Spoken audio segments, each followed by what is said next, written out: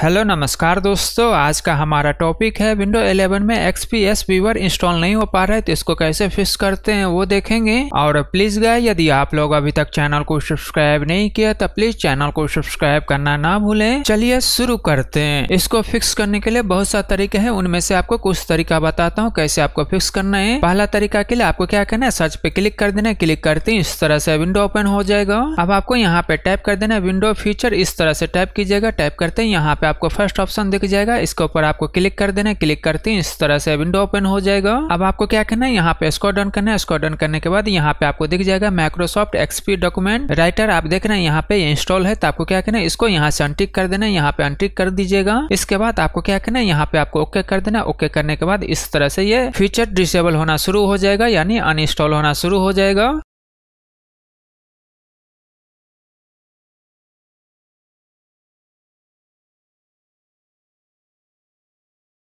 इसके बाद इस तरह से कंप्लीट हो जाएगा। अब आपको क्या करना है? यहाँ पे आपको क्लोज के ऊपर आपको क्लिक कर देना क्लिक करते हैं, इस तरह से क्लोज हो जाएगा। अब आपको क्या करना है? सिस्टम को रीस्टार्ट कर लेना है। रीस्टार्ट करने के बाद आपको क्या करना है? दोबारा यहाँ पे आपको सर्च पे क्लिक करना है। क्लिक करने के बाद इस तरह से विंडो ओपन हो जाएगा। अब आपको यहाँ पे टाइप कर देना है विंडो फीचर इस तरह से टाइप कीजिएगा। टाइप करते हैं, यहाँ पे आपको फ़र्स्ट ऑप्शन दिख जाएगा। इसके ऊपर आपको क्लिक कर देना है। क्लिक करते हैं, फिर से इस तरह से विंडो ओपन हो जाएगा। अब आपको क्या करना है? यहाँ पे स्क्रॉल डाउन करना है। स्क्रॉल डाउन करने के बाद यहाँ पे आपको दिख जाएगा माइक्रोसॉफ्ट एक्सपीएस डॉक्यूमेंट राइटर तो आपको क्या करना है? फिर से यहाँ पे आपको इसको टिक मार्क कर देना है। इसके बाद यहाँ पे आपको ओके पे क्लिक कर देना है। ओके पे क्लिक करने के बाद इस तरह से फिर से यह इंस्टॉल होना शुरू हो जाएगा। यानी ये फीचर इनेबल होना शुरू हो जाएगा। कंप्लीट होने के बाद इस तरह से विंडो ओपन हो जाएगा। अब आपको क्या करना है? यहाँ पे आपको क्लोज के ऊपर आपको क्लिक कर देना है। क्लिक करने के बाद आपको क्या करना है? एक बार सिस्टम को आप रीस्टार्ट कर दीजिएगा। रीस्टार्ट करने के बाद अब आप चेक कर सकते हैं आपके केस में जो ये प्रॉब्लम आ रहा था, ये प्रॉब्लम सॉल्व हो गया होगा। अब मान लीजिए फिर भी आपका प्रॉब्लम सॉल्व नहीं होता है तो आपको क्या करना है? दूसरा मेथड आपको ट्राई करना है। इसके लिए आपको क्या करना है? यहाँ पे आपको सर्च पे क्लिक कर देना है। क्लिक करते हैं इस तरह से विंडो ओपन हो जाएगा। अब आपको यहाँ पे सीएमडी टाइप कर देना है। टाइप करते हैं यहाँ पे आपको दिख जाएगा कमांड प्रॉम्प्ट इसके ऊपर आपको राइट क्लिक करना है। इसके बाद यहाँ पे आपको दिख जाएगा रन एडमिनिस्टर इसके ऊपर आपको क्लिक कर देना है। क्लिक करते हैं इस तरह से विंडो ओपन हो जाएगा। अब आपको क्या करना है? यदि आपके केस में भी इस तरह से विंडो ओपन होता है तो आपको क्या करना है? यहाँ पे यस पे क्लिक कर देना है। यस पे क्लिक करते हैं इस तरह से विंडो ओपन हो जाएगा। इसके बाद आपको क्या करना है? डिस्क्रिप्शन में जाना है। डिस्क्रिप्शन में जाने के बाद वहाँ पे आपको एक कमांड दिख जाएगा। उस को आप कॉपी कर लीजिएगा। कॉपी करने के बाद आपको क्या करना है? इस कमांड को यहाँ पे आके पेस्ट कर देना पेस्ट करने के लिए यहाँ पे आपको दो तरीका है। एक तो तरीका ये है कि आप यहाँ पे राइट क्लिक कीजिएगा, इसके बाद एडिट पे जाइएगा, इसके बाद यहाँ पे आप पेस्ट पे क्लिक करके इस कमांड को यहाँ पे आप पेस्ट कर सकते हैं। यानी तो आपको दूसरा तरीका भी बताता हूँ शॉर्टकट तरीका आपको बताता हूँ। इसके लिए आपको क्या करना है? यहाँ पे आपको माउस का कर्सल कहीं भी रखना है। इसके बाद माउस का राइट बटन आप यहाँ पे प्रेस कीजिएगा तो भी इस तरह से कमांड पेस्ट हो जाएगा। तो दोनों तरीके में से, किसी एक तरीके से इस कमांड को आपको पेस्ट कर लेना है। पेस्ट करने के बाद आपको क्या करना है? यहाँ पे आपको इंटर कर देना है। इंटर करने के बाद यह कमांड रन हो जाएगा। रन होने के बाद आपको क्या करना है? इस कमांड को यहाँ से क्लोज कर देना है। यानी सीएमडी को आप क्लोज कर दीजिएगा। उसके बाद अब आप ट्राई कर सकते हैं। आपके केस में जो ये प्रॉब्लम आ रहा था यह प्रॉब्लम सोल्व हो गया होगा। अब मान लीजिए फिर भी प्रॉब्लम सोल्व नहीं होता है तो आपको क्या करना है? यहाँ पे सर्च पे क्लिक कर देना है। क्लिक करते हैं इस तरह से विंडो ओपन हो जाएगा। इसके बाद यहाँ पे आपको टाइप कर देना है। जीपी एडिट इस तरह से टाइप कीजिएगा। टाइप करते हैं यहाँ पे आपको दिख जाएगा। एडिट ग्रुप पॉलिसी इसके ऊपर आपको क्लिक कर देना है। क्लिक करते हैं इस तरह से विंडो ओपन हो जाएगा।